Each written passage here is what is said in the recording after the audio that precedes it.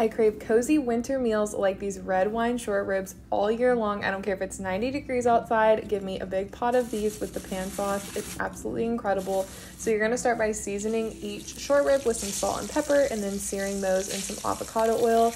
You wanna sear about two to three ribs at a time, depending on how big they are, but you just don't wanna overcrowd the pan or else they're not going to sear, they're just going to steam. And then you're gonna have all those brown bits and some oil left in your pan to saute your veggies and start building each layer of your braising liquid.